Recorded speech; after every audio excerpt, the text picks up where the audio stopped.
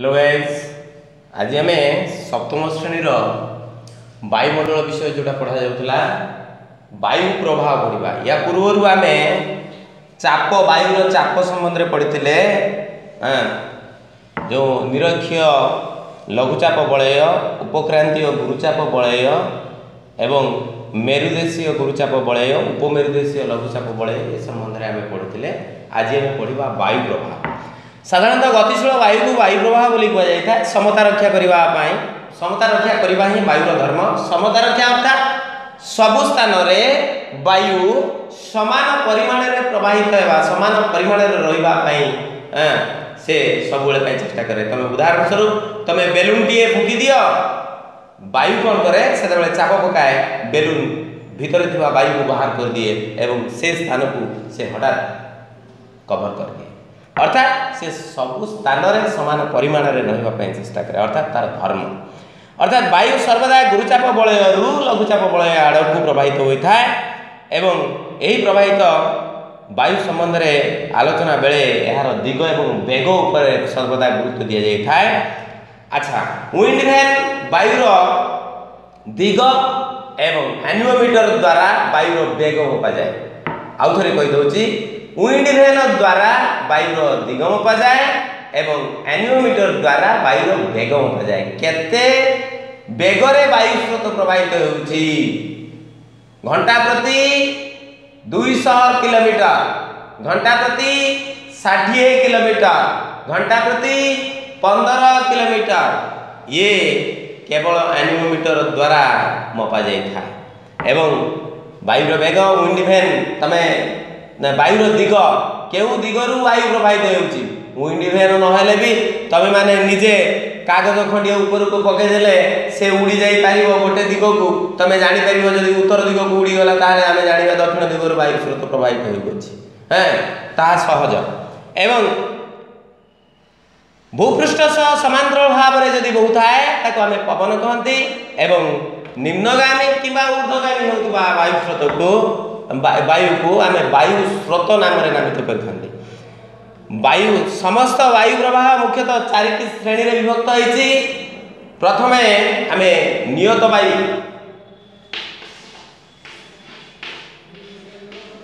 ନିୟତ ବାୟୁ। ଦୁଇରେ ଚାରିଟା ଯାକ ମୁଁ କହିଦେଉଛି ଏକାବେଳେ। ନିୟତ ବାୟୁ ସାମୟିକ ବାୟୁ ସ୍ଥାନୀୟ ବାୟୁ ଆକସ୍ମିକ ବାୟୁ। ନିୟତ ବାୟୁ Tanya bayu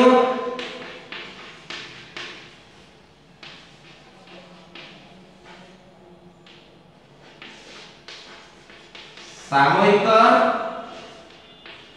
Bayu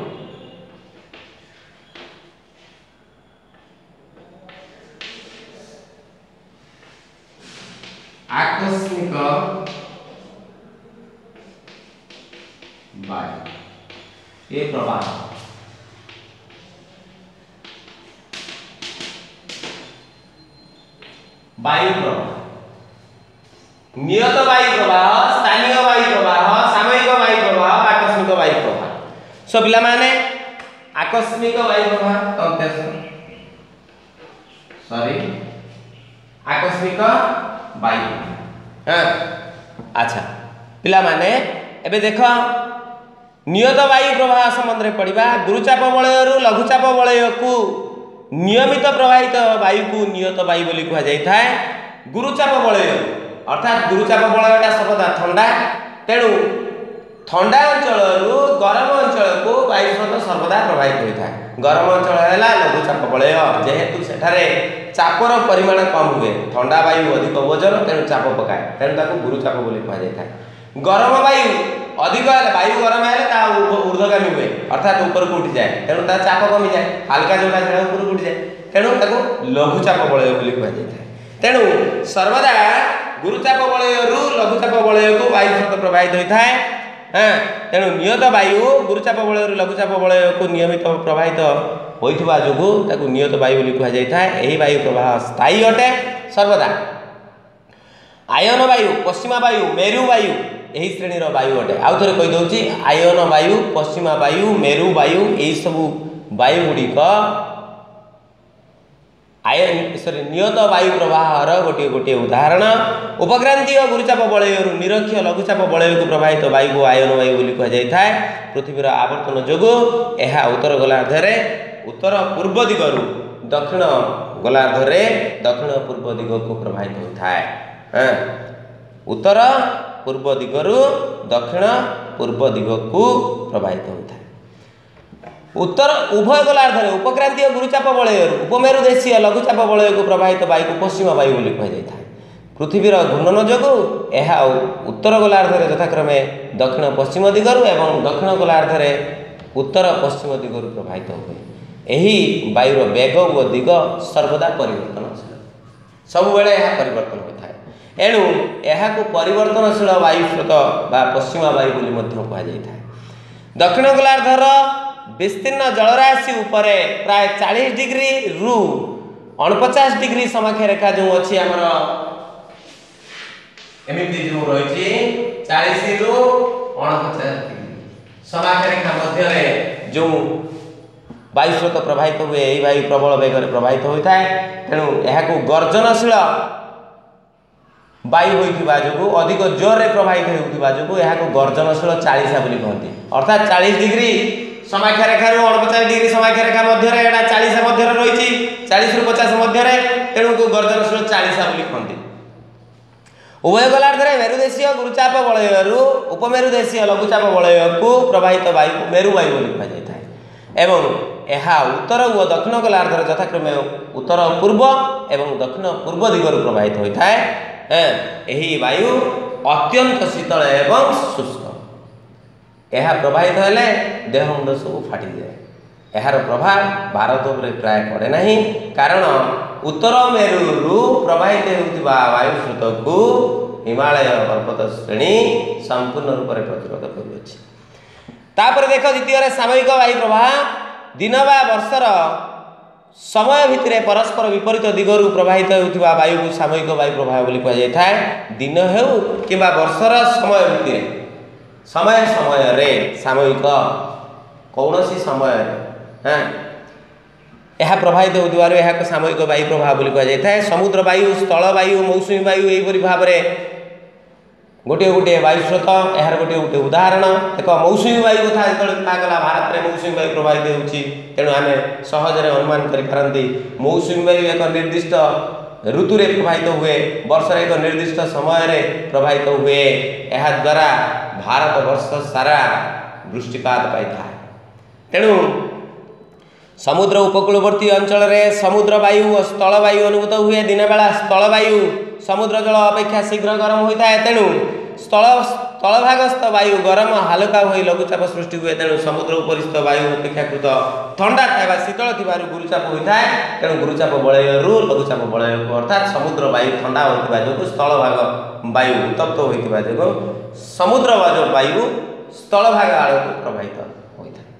ହଁ ତେଣୁ ସମୁଦ୍ରରୁ ସ୍ଥଳଭାଗକୁ ବାୟୁ ପ୍ରବାହିତ ହୁଏ। ଏହା ସମୁଦ୍ର ବାୟୁ ବୋଲି କୁହାଯାଏ। ଏହାକୁ ସମୁଦ୍ର ବାୟୁ ବା ସମୁଦ୍ର ବାୟୁ ଅଟେ। ଏହା ପ୍ରଭାବ ପ୍ରାୟ ପଚିଶ କିଲୋମିଟର ପର୍ଯ୍ୟନ୍ତ ରେଡ଼ିୟସରେ ହୋଇଥାଏ। ସମୁଦ୍ର ବାୟୁ ପଚିଶ କିଲୋମିଟର ସ୍ଥଳଭାଗ ଆଡ଼କୁ ପ୍ରବାହିତ ହୋଇଥାଏ। ଆମେ ଯେହେତୁ ଏହି ପଚିଶ କିଲୋମିଟର ଭିତରେ ଅନ୍ତର୍ଭୁକ୍ତ ଅଛନ୍ତି ତେଣୁ ଆମେ ମଧ୍ୟ ଏହି ସମୁଦ୍ର ବାୟୁର ଅନୁଭବ କରିପାରୁ ଅଛନ୍ତି। ତୁମେ ଜାଣିଛ କିରେ ଦେଇଛି ଦେଖ। ଆୟନ ବାୟୁ କ୍ରାନ୍ତି ଅଞ୍ଚଳର ବୃହତ୍ ସ୍ଥଳଭାଗର ପୂର୍ବ ପାର୍ଶ୍ୱରେ ପ୍ରଥମେ ବାଧା ପାଏ ଏବଂ ବୃଷ୍ଟି କରାଏ। ପଶ୍ଚିମ ପାର୍ଶ୍ୱରେ ବାୟୁ ଶୁଷ୍କ ହୋଇଥିବାରୁ ବୃଷ୍ଟି କରିପାରେ ନାହିଁ ଫଳରେ ମରୁଭୂମି ଅଞ୍ଚଳ ସୃଷ୍ଟି ହୋଇଥାଏ। ଭାରତର ଥର୍ ମରୁଭୂମି ଆଫ୍ରିକାର ସାହାର ମରୁ ସାହାର ମରୁଭୂମି ଏଥିପାଇଁ ହିଁ ସୃଷ୍ଟି ହୋଇଛନ୍ତି। ପଶ୍ଚିମା ବାୟୁ ଭୂଖଣ୍ଡର ପଶ୍ଚିମ ପାର୍ଶ୍ୱରେ ବୃଷ୍ଟି କରାଯାଇଥାଏ ସ୍ଥଳଭାଗର ପୂର୍ବ ପାର୍ଶ୍ୱ ଯେଉଁ ବୃଷ୍ଟିରୁ ବଞ୍ଚିତ ହୋଇଥାଏ ଏହି କାରଣରୁ ମରୁଭୂମି ସୃଷ୍ଟି ହୁଏ ତୁରାନ ଏବଂ ଗୋବି ମରୁଭୂମି ଏଥିପାଇଁ ସୃଷ୍ଟି ହୋଇଛି। ହଁ ବାତାବର୍ତ୍ତକୁ ଚୀନ ଉପକୂଳରେ ଟାଇଫୁନ୍ ମେକ୍ସିକୋ ଓ ପଶ୍ଚିମ ଭାରତୀୟ ଦ୍ୱୀପପୁଞ୍ଜର ଉପକୂଳରେ ହରକେନ୍ ଭାରତ ଉପକୂଳରେ ସାଇକ୍ଲୋନ୍ ବୋଲି କହନ୍ତି ଆମେ ଜାଣିଛନ୍ତି ସାଇକ୍ଲୋନ୍ ସୁପର ସାଇକ୍ଲୋନ୍ ଇତ୍ୟାଦି ମଧ୍ୟ କହନ୍ତି ତାକୁ।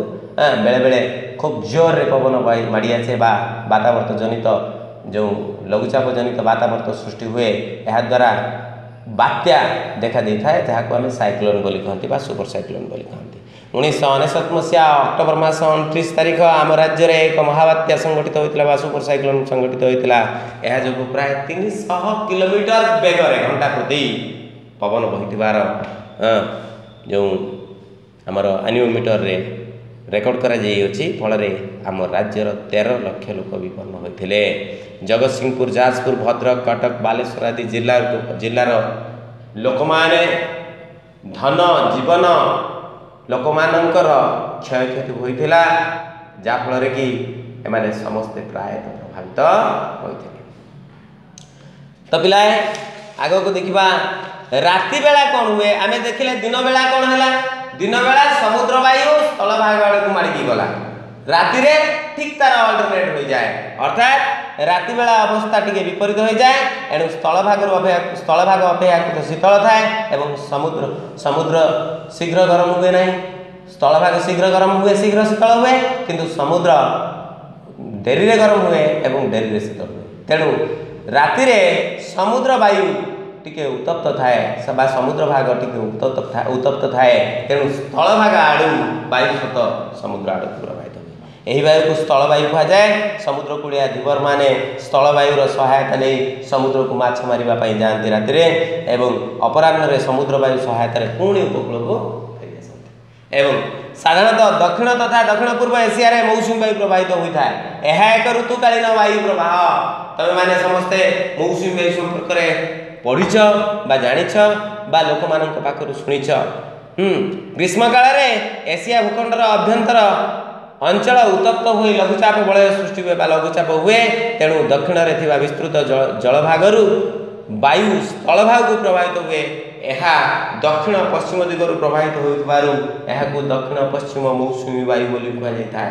ମୌସମର ଅର୍ଥ ହେଉଛି ବାୟୁ ସ୍ରୋତ ଋତୁକାଳୀନ ବାୟୁ ସ୍ରୋତ ମୌସମ ମୌସମରୁ ମୌସୁମୀ ଆରବିଆନ କଣ୍ଟ୍ରିର ଭାଷା ହୋଇଥିବା ଯୋଗୁଁ ସେହି ମୌସୁମରୁ ମୌସୁମୀ ବାୟୁ ନାମକରଣ ହୋଇଛି।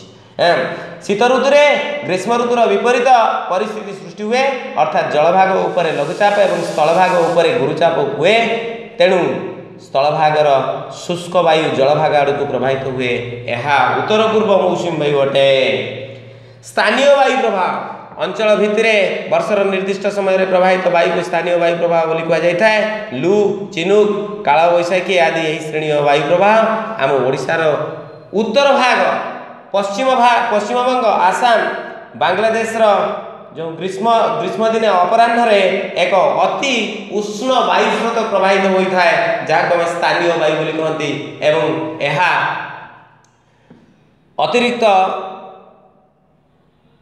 ମାନେ ବୈଶାଖର କାଳ ବୋଲି ଏହାକୁ କୁହାଯାଇଥାଏ ତେଣୁ କାଳ ବୈଶାଖୀ ବୋଲି ସେଥିପାଇଁ ତାକୁ କୁହାଯାଇଥାଏ ଏହାଦ୍ୱାରା ଅପରାହ୍ନରେ ଅତିରିକ୍ତ ଘଡ଼ଘଡ଼ି ସହ ବୃଷ୍ଟିପାତ ହେବାର ମଧ୍ୟ ଦେଖାଯାଇଥାଏ ଏହି ସମୟରେ ଗାଙ୍ଗେୟ ସମତଳ ଅଞ୍ଚଳ ତଥା ରାଜସ୍ଥାନରେ ଏକ ଅତି ଉଷ୍ଣ ଏବଂ ଶୁଷ୍କ ବାୟୁ ପ୍ରବାହିତ ହୋଇଥାଏ ଯାହାକୁ ଆମେ ଲୁ ବୋଲି ନାମକରଣ କରିଛୁ। ଏବଂ ଚିନୁକ୍ ଯେଉଁଟା ଦେଇଛି ଏଁ, ରକି ପର୍ବତମାଳାର ପୂର୍ବ ଢାଲୁ ଅଞ୍ଚଳରେ ଶୀତକାଳରେ ଏକ ଉଷ୍ଣ ଏବଂ ଶୁଷ୍କ ବାୟୁ ସ୍ରୋତ ପ୍ରବାହିତ ହୋଇଥାଏ ଯାହାକୁ ଚିନୁକ୍ ବୋଲି କୁହାଯାଇଥାଏ ଏଗୁଡ଼ାକ ସବୁ ସ୍ଥାନୀୟ ବାୟୁ ସ୍ରୋତ କେତେକ ସ୍ଥାନରେ ନିର୍ଦ୍ଦିଷ୍ଟ ସ୍ଥାନରେ ଏହି ବାୟୁ ସ୍ରୋତ ପ୍ରବାହିତ ହୋଇଥାଏ ଯେମିତିକି ଆମେ ରକି ପର୍ବତମାଳାର ଯେଉଁ ଉଁ, ପୂର୍ବ ଢାଲୁ ଅଞ୍ଚଳରେ କିମ୍ବା ଆମର ଓଡ଼ିଶା ଉତ୍ତର ଓଡ଼ିଶାର ଉତ୍ତର ଭାଗ ହେଉ ପଶ୍ଚିମବଙ୍ଗ ଆସାମ ବାଂଲାଦେଶର ଅମ୍, ଯେଉଁ ଅଞ୍ଚଳ ମାନଙ୍କରେ ଗ୍ରୀଷ୍ମ ଦିନେ ଅପରାହ୍ନରେ ଖାସ କରିକି କେତେକ ବାୟୁ ସ୍ରୋତ ଦେଖିବାକୁ ମିଳିଥାଏ ଅଞ୍ଚଳ ଭିତରେ ଏଗୁଡ଼ିକ ଦେଖାଯାଉଥିବାରୁ କେତେକ ସ୍ଥାନରେ ଦେଖାଯାଉଥିବାରୁ ଏହାକୁ ସ୍ଥାନୀୟ ବାୟୁ ସ୍ରୋତ ବୋଲି କୁହାଯାଇଥାଏ ଆ- ୟା ପରେ ପଢ଼ିବା ଆକସ୍ମିକ ବାୟୁ ପ୍ରବାହ ବେଳେବେଳେ ବାୟୁ ଚାପରେ ଆକସ୍ମିକ ପରିବର୍ତ୍ତନ ଯୋଗୁଁ ବାୟୁ ପ୍ରବାହ ହୋଇଥାଏ ଏହା ଆକସ୍ମିକ ବାୟୁ ପ୍ରବାହ ବା ବାତାବର୍ତ୍ତ ବା ପ୍ରତିଭ ବାତାବର୍ତ୍ତ ନାମରେ ନାମିତ ହୋଇଥାଏ ବା ପ୍ରତିଭ ବାତାବର୍ତ୍ତର ନାମରେ ନାମକରଣ କରାଯାଇଛି ଏହି ଆକସ୍ମିକ ବାୟୁ ପ୍ରବାହର ବାତାବର୍ତ୍ତ ଏବଂ ପ୍ରତିଭ ବାତାବର୍ତ୍ତ ଗୋଟିଏ ଗୋଟିଏ ଉଦାହରଣ। କୌଣସି ସ୍ଥାନର ବାୟୁଚାପ ହଠାତ୍ ହ୍ରାସ ପାଇ କେନ୍ଦ୍ରୀଭୂତ ହେଲେ ସେହି ସ୍ଥାନରୁ ସ୍ଥାନକୁ ଚତୁଃପାର୍ଶ୍ୱସ୍ଥ ଗୁରୁଚାପ ଅଞ୍ଚଳରୁ ବାୟୁ ପ୍ରବାହିତ ହୋଇଥାଏ। ତମେ ତମେ ଏ, ବେଳେବେଳେ ଘର ନିଆଁ ଲାଗିଯିବା ଦେଖିଥିବ ଘର ଯେଉଁଠି ନିଆଁ ଲାଗିଥାଏ ତା ଚତୁଃପାର୍ଶ୍ୱରୁ ବାୟୁ ସ୍ରୋତ ତା ଆଡ଼କୁ ପ୍ରବାହିତ ହୋଇଥାଏ। ଅର୍ଥାତ୍ ଯେଉଁଠି ନିଆଁ ଲାଗିଥାଏ ସେଇଟା ଲଘୁଚାପରେ ପରିଣତ ହୋଇଥାଏ। ଏବଂ ତାଠାରୁ ଅଧିକ ଥଣ୍ଡା ତାର ଚତୁଃପାର୍ଶ୍ୱସ୍ଥ ବାୟୁସ୍ରୋତ ବାୟୁ ବାୟୁମାନଙ୍କରେ ଥାଏ ତେଣୁ ସେଇ ଆଡ଼କୁ ସବୁ ବାୟୁସ୍ରୋତ ପ୍ରବାହିତ ହୋଇଥାଏ। ଠିକ୍ ସେଇଭଳି ଏଠାରେ ଦେଖିବାକୁ ମିଳେ କେନ୍ଦ୍ରସ୍ଥ ଲଘୁଚାପ ଅଞ୍ଚଳକୁ ପ୍ରବେଶ କରି ନପାରି ଏହା ଘୁରି ଘୁରି ଉପରକୁ ଉଠିଥାଏ। ଯାହାଫଳରେ କି ସେ ନିଆଁ ଗୁଡ଼ିକୁ ମଧ୍ୟ ଝୁଲ ଗୁଡ଼ିକୁ ଉପରକୁ ଉଠାଇ ନିଏ ହଁ ଏଠି ମୁଁ ଉଦାହରଣ ଭାବରେ ତାକୁ କହିଲି ଏଠି ବାତାବର୍ତ୍ତ କ'ଣ? ନା କୌଣସି ଅଞ୍ଚଳ ଅଧିକ ଉତ୍ତପ୍ତ ହେଲେ ସେହି ଅଞ୍ଚଳକୁ ତାର ଚତୁଃପାର୍ଶ୍ୱରେ ଥିବା ବାୟୁସ୍ରୋତ ପ୍ରବାହିତ ହୋଇ ସେ ଲଘୁଚାପ ବଳୟ ଅଞ୍ଚଳକୁ ପ୍ରବେଶ କରିପାରେନି ଯାହାଫଳରେ ତା ଚତୁଃପାର୍ଶ୍ୱରେ ଘୁରି ବୁଲେ ଏବଂ ଊର୍ଦ୍ଧ୍ୱଗାମୀ ହୁଏ ହେଁ ବାୟୁ ସ୍ରୋତ ଊର୍ଦ୍ଧ୍ୱଗାମୀ ହୋଇଥାଏ ଏହାକୁ ବାତାବର୍ତ୍ତ ବୋଲି କୁହାଯାଇଥାଏ ବା ଘୂର୍ଣ୍ଣିବଳୟ ବୋଲି ମଧ୍ୟ ତୁମେମାନେ ଶୁଣିଥିବ କୁହାଯାଏ। ହଁ ଖଣ୍ଡିଆଭୂତ ବୋଲି ମଧ୍ୟ ନାମକରଣ ବେ- ବେଳେ ବେଳେ କରାଯାଏ। ହଁ କେନ୍ଦ୍ରସ୍ଥ ଲଘୁଚାପ ଅଞ୍ଚଳକୁ ପ୍ରବେଶ କରି ନପାରି ଏହା ଘୁରି ଘୁରି ଉପରକୁ ଉଠେ ଏହାକୁ ବାତାବର୍ତ୍ତ କୁହାଯାଏ। ଉତ୍ତର ଗୋଲାର୍ଦ୍ଧରେ ବାତାବର୍ତ୍ତର କେନ୍ଦ୍ର ଆଡ଼କୁ ବାୟୁ ପ୍ରବାହିତ ହେଲା ବେଳେ ଡାହାଣକୁ ଏବଂ ଦକ୍ଷିଣ ଗୋଲାର୍ଦ୍ଧରେ ବାମ ଆଡ଼କୁ ବାଙ୍କି ଯାଇ ବାଙ୍କି ଯାଇଥାଏ। ଅର୍ଥାତ୍ ଉତ୍ତର ଗୋଲାର୍ଦ୍ଧରେ ଘଣ୍ଟା ଘଣ୍ଟାର ବିପରୀତ ଦିଗରେ ଏବଂ ଦକ୍ଷିଣ ଗୋଲାର୍ଦ୍ଧରେ ଘଣ୍ଟା ଘଣ୍ଟାର ଘୂର୍ଣ୍ଣନ ଦିଗରେ ଏହା ପ୍ରବାହିତ ହୋଇଥାଏ। ତମେମାନେ ଏଠି ବାହା ମାନେ ଯେଉଁ ଦେଇଛି ଚିତ୍ର ଦେଇଛି ହଁ ମ- ଯେଉଁ ପୃଷ୍ଠା ଛତିଶରେ ତାକୁ ଲକ୍ଷ୍ୟ କରିବ। ସେଥିରେ ଘୂର୍ଣ୍ଣନମାନ ବିପରୀତ ଦିଗରେ ଏବଂ ଘଣ୍ଟା ଘଣ୍ଟାର ସପକ୍ଷ ଦିଗରେ କିପରି ଭାବରେ ରହିଛି ତାହାକୁ ଆମେ କ'ଣ କହିବା? ନା ବାତାବର୍ତ୍ତ ଜନିତ ବାୟୁସ୍ରୋତ ବୋଲି କହିବା। ଏବଂ ଉତ୍ପତ୍ତି ସ୍ଥଳ ଦୃଷ୍ଟିରୁ ବାତାବର୍ତ୍ତ ଦୁଇ ପ୍ରକାରର ହୋଇଥାଏ କ୍ରାନ୍ତିମଣ୍ଡଳୀୟ ବାତାବର୍ତ୍ତ ଏବଂ ନାତିଶୀତୋଷ୍ଣମଣ୍ଡଳୀୟ ବାତାବର୍ତ୍ତ ଏହି ଦୁଇ ପ୍ରକାରର। ପ୍ରତିଭ ବାତାବର୍ତ୍ତ ଠିକ୍ ତାର ବିପରୀତ। ଏଠି ଦେଇଛି ଦେଖ ବାୟୁର ଗତି ଘଣ୍ଟା ଘଣ୍ଟାର ଘୂର୍ଣ୍ଣନ ଦିଗରେ ଏବଂ ତାର ଅପୋଜିଟ୍ ସାଇଡ଼୍ରେ ହଁ ଘଣ୍ଟା ଘଣ୍ଟାର ବିପରୀତ ଦିଗରେ ବୁଲିଥାଏ। ପ୍ରତିଭ ବାତାବର୍ତ୍ତ ବାତାବର୍ତ୍ତର ଠିକ୍ ବିପରୀତ ଅବସ୍ଥା କୌଣସି ସ୍ଥାନରେ ବାୟୁଚାପ ହ୍ରାସ ପାଇ ସରି ବୃଦ୍ଧି ପାଇ ଗୁରୁଚାପ କେନ୍ଦ୍ର ସୃଷ୍ଟି ହୁଏ। ଏହି ଗୁରୁଚାପ କେନ୍ଦ୍ରରୁ ବାୟୁ ଧୀରେ ଧୀରେ ଚାରିପାଖରେ ଥିବା ଅଳ୍ପ ଚାପ ଅଞ୍ଚଳ ଆଡ଼କୁ ବା ଲଘୁଚାପ ଅଞ୍ଚଳ ଆଡ଼କୁ ପ୍ରବାହିତ ହୁଏ। ଉତ୍ତର ଗୋଲାର୍ଦ୍ଧରେ ଏହି ବାୟୁ ଡାହାଣକୁ ବାଙ୍କି ଯାଇ ଘଣ୍ଟା ଘଣ୍ଟାର ଘୂର୍ଣ୍ଣନ ଦିଗରେ ଏବଂ ଦକ୍ଷିଣ ଗୋଲାର୍ଦ୍ଧରେ ଏହି ବାୟୁ ବାମକୁ ବାଙ୍କି ଯାଇ ଘଣ୍ଟା ଘଣ୍ଟାର ବିପରୀତ ଦିଗରେ ପ୍ରବାହିତ ହୋଇଥାଏ ଏଁ ତମେମାନେ ପ୍ରତିଭ ବାତାବର୍ତ୍ତର ଯେଉଁ ଚିତ୍ର ଅଛି ସେ ଚିତ୍ରକୁ ସହଜରେ ଜାଣିପାରିବ ଏବଂ ଦେଖିପାରିବ ଏବଂ ପ୍ରତିଭ ବାତାବର୍ତ୍ତ ଯୋଗୁଁ କ'ଣ ହୁଏ ନା ପାଗ ସମ୍ପୂର୍ଣ୍ଣ ରୂପରେ ଶୁଖିଲା ରୁହେ ଆକାଶ ମେଘମୁକ୍ତ ହୋଇଯାଏ ତମେ ଶରତ ଋତୁ ହେମନ୍ତ ଋତୁ ଶରତ ଋତୁରେ ଖାସ କରିକି ଦେଖିବ ଏହି ପ୍ରକାର ବାତାବର୍ତ୍ତ ଦେଖିବାକୁ ମିଳିବ ୟା ପରେ ପଢ଼ିବା ପିଲା ବାୟୁର ଆର୍ଦ୍ରତା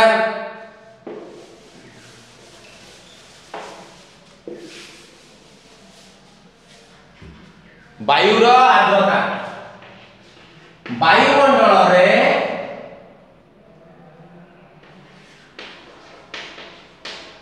ଜଳୀୟ ଅଂଶ ଭରିକି ରହିଥାଏ ଏହି ଜଳୀୟ ଅଂଶକୁ ବାୟୁମଣ୍ଡଳର ଆର୍ଦ୍ରତା ବୋଲି କୁହାଯାଇଥାଏ। भूपृष्ठ जल राशि और तुषार राशि जल बाष्पीभूत हो वायु मिशे यही बाष्पीभूत जलकणिका गुड़ी जलय बाष्प बोली कहुए जल ग्यासीय अवस्था पर प्रक्रिया को बाष्पीभवन कहुए वृक्षलता आदि डालपत्र जल बाष्पीभूत हो वायुमंडल मिशे यहाँ बाष्पोचन प्रक्रिया कहुए घन अरण्य अंचल बहुमात्र बाष्प वायुमंडल मिशि थाए तो वायु जो बाष्पीभवन प्रक्रिया ତମେମାନେ ଉଚ୍ଛେଦନ ପ୍ରକ୍ରିୟା ବା ବାଷ୍ପମୋଚନ ପ୍ରକ୍ରିୟା ସମ୍ବନ୍ଧରେ ଆଗରୁ ମଧ୍ୟ ବିଜ୍ଞାନରେ ପଢ଼ିଛ ବାୟୁମଣ୍ଡଳରୁ ମାନେ କ'ଣ ଜଳରାଶିରୁ ଯେଉଁ ବାଷ୍ପ ଜଳୀୟ ବାଷ୍ପ ଗୁଡ଼ିକ ବାୟୁମଣ୍ଡଳକୁ ଆସିଥାଏ ତାକୁ ବାଷ୍ପୀମୋଚନ ପ୍ରକ୍ରିୟା କହନ୍ତି ଏବଂ ବୃକ୍ଷଲତା ଆଦିରୁ ଜଳ ବାଷ୍ପୀଭୂତ ହୋଇକି ବାଷ୍ପ ବାଷ୍ପୀମୋଚନ ହେଇକି କ'ଣ ହୁଏ? ନା ବାୟୁମଣ୍ଡଳରେ ମିଶିଥାଏ। ସେଥିପାଇଁ ତାକୁ ବାଷ୍ପୀମୋଚନ ପ୍ରକ୍ରିୟା ବୋଲି କୁହାଯାଇଛି ବାଷ୍ପୀଭବନ ପ୍ରକ୍ରିୟା ବୋଲି କୁହାଯାଏ ଯେଉଁଟାକି ଜଳ ରାଶିରୁ ବାଷ୍ପୀମୋଚନ କ- ମାନେ ବା- ଜଳୀୟ ବାଷ୍ପ ଆସିଥାଏ। ହଁ ଗ୍ୟାସୀୟ ଅବସ୍ଥାରେ ପରିବର୍ତ୍ତିତ ହୋଇ ଆସିଥାଏ। ତ ବାଷ୍ପୀଭବନ ପ୍ର- ଭଲ ଭାବରେ ମନେ ରଖ ଆଉ ଥରେ ମୁଁ କହିଦେଉଛି ଜଳରାଶିରୁ ଯୋଉଟା ଆସେ ସେଟା ହେଉଛି ବାଷ୍ପୀଭବନ ଭବନ। ଯୋଉଟା तो हुए सेटा राशि मोचन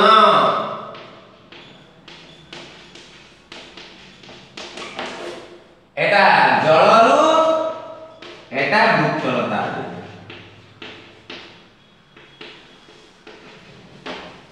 हाँ, ये वाष्प जलरु हुए, ये वाष्प भूचलता तो जलीय वाष्प जलरु हुए, एवं बाष्पी मोचन ଯେଉଁଟା ସେଟା ହେଉଛି ଜଳ ବାଷ୍ପ ମାନେ ଜଳରୁ ଯେଉଁଟା ହେଉଛି ସେଇଟା ବାଷ୍ପୀଭବନ ଏବଂ ବୃକ୍ଷରୁ ଯେଉଁଟା ହେଉଛି ସେଇଟା ବାଷ୍ପୀମୋଚନ।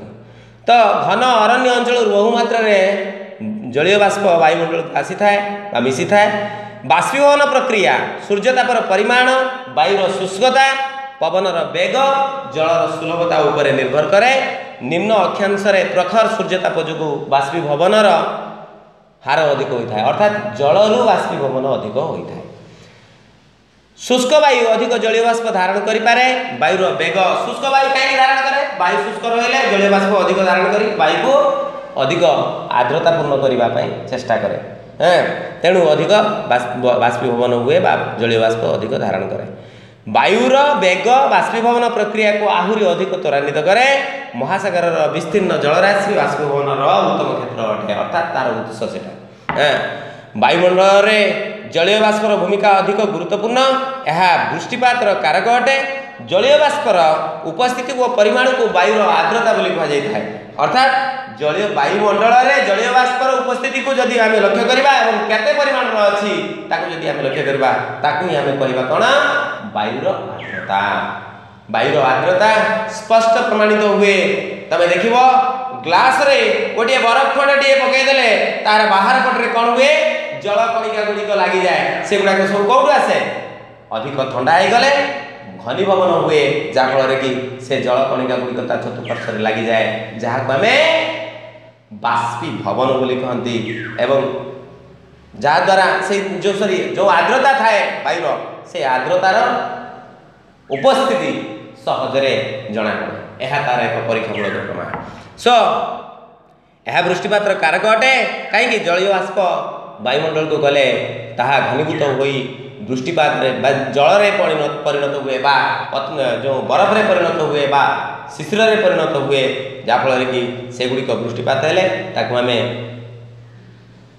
ଜଳବୃଷ୍ଟି ଶିଶିର ବୃଷ୍ଟି କିମ୍ବା ତୁଷାର ବୃଷ୍ଟି ବୋଲି କହନ୍ତି ବା ବରଫ ବୃଷ୍ଟି ବୋଲି କହନ୍ତି ବେଳେବେଳେ କ'ଣ ହୁଏ ନା କୁଆପଥର ମଧ୍ୟ ବୃଷ୍ଟି ହୁଏ ଏଗୁଡ଼ିକ ସବୁ ଆମେ ଅନୁଭବ କରନ୍ତି ତ ଏକ ନିର୍ଦ୍ଦିଷ୍ଟ ତାପମାତ୍ରାରେ ବାୟୁ ନିର୍ଦ୍ଦିଷ୍ଟ ଦିଗରୁ ବା ପରିମାଣରେ ଜଳୀୟବାଷ୍ପ ଧାରଣ କରିପାରେ ତାପମାତ୍ରା ଅନୁଯାୟୀ ବାୟୁର କ୍ଷମତାର ପରିମାଣର ଜଳୀୟ ବାଷ୍ପ ଥିଲେ ତାହାକୁ ପରିପୃକ୍ତ ବାୟୁ ବୋଲି କୁହାଯାଇଥାଏ କାହିଁକି ନା ଜଳୀୟ ବାଷ୍ପ ପ୍ରଚୁର ପରିମାଣରେ ସେଥିରେ ଅଛି ତେଣୁ ସେ ପରିପୃକ୍ତ ବାୟୁ ଜଳୀୟ ବାଷ୍ପ ଧାରଣ କ୍ଷମତା ଠାରୁ କମ୍ ଜଳୀୟ ବାଷ୍ପ ଥିଲେ ତାକୁ ଅପରିପୃକ୍ତ ବାୟୁ ବୋଲି କୁହାଯାଇଥାଏ ହାଇଗ୍ରୋମିଟର ନାମକ ଯନ୍ତ୍ର ଦ୍ୱାରା ବାୟୁର ଆର୍ଦ୍ରତା ମପାଯାଏ ପିଲାମାନେ ଆଉ ଥରେ କହୁଛି ଯେମିତି ଆମେ ୱିଣ୍ଡ ଭ୍ୟାନ୍ ଏବଂ ଆନିଓମିଟର ସମ୍ବନ୍ଧରେ ପଢ଼ିଲେ ୱିଣ୍ଡ ଭ୍ୟାନ୍ ବାୟୁର ଦିଗ ମାପେ ବାୟୁର ବେଗ ଆନିଓମିଟର ମାପେ ଠିକ୍ ସେଇଭଳି ହାଇଗ୍ରୋମିଟର କ'ଣ କରେ ବାୟୁର ଆର୍ଦ୍ରତା ମାପେ ସୋ ପିଲାଏ ତାପରେ ଦେଖିବା ଘନୀଭବନ ଘନୀଭବନ ହେଲେ ତ ବୃଷ୍ଟିପାତ ହେବ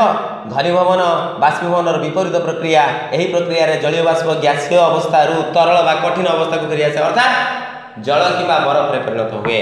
ଘନୀଭବନ ପାଇଁ ଥଣ୍ଡା ବାୟୁ ବା ବାୟୁ ଥଣ୍ଡା ହେବା ଆବଶ୍ୟକ ଥଣ୍ଡା ବାୟୁ ଆବଶ୍ୟକ ଯେଉଁ ତାପମାତ୍ରାରେ ଜଳୀୟ ବାଷ୍ପ କ୍ଷୁଦ୍ର କ୍ଷୁଦ୍ର ଜଳକଣାରେ ପରିଣତ ହୁଏ ସେହି ତାପମାତ୍ରାକୁ ଶିଶିରାଙ୍କ କୁହାଯାଏ। ଅତଏବ ଶିଶିରାଙ୍କ ତାପମାତ୍ରା ଠାରୁ ଘନୀଭବନ ପ୍ରକ୍ରିୟା ଆରମ୍ଭ ହୋଇଥାଏ। ଏହାଫଳରେ କାକର କୁହୁଡ଼ି ମେଘ କିମ୍ବା ତୁଷାର ଇତ୍ୟାଦି ସୃଷ୍ଟି ହୋଇଥାଏ।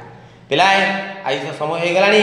ୟା ପରେ ଘନୀଭବନର ପ୍ରରୂପ ପଢ଼ିବା କାକର କୁହୁଡ଼ି ମେଘ ବର୍ଷଣ ଇତ୍ୟାଦି ସମ୍ବନ୍ଧରେ ପଢ଼ିବା ତାପରେ ବୃଷ୍ଟିପାତ ସମ୍ବନ୍ଧରେ ପଢ଼ିବା ଆଉ ଗୋଟେ ପିରିୟଡ଼ ଲାଗିବ ନିଶ୍ଚିତ। ତାପରେ ଆମେ କେଉଁ ପ୍ରଶ୍ନ ଉତ୍ତର ସମ୍ବନ୍ଧରେ ଆଲୋଚନା କରିବା। ପିଲାମାନେ ଘରେ ରହିବ ସୁରକ୍ଷିତ ରହିବ ତୃତୀୟ ୟୁନିଟ୍ ପାଇଁ ନିଜକୁ ପ୍ରସ୍ତୁତ କରିବ। ଧନ୍ୟବାଦ।